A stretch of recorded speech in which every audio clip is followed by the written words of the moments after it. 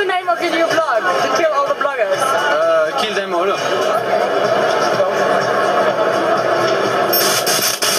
that they've seen a picture of themselves and they really feel that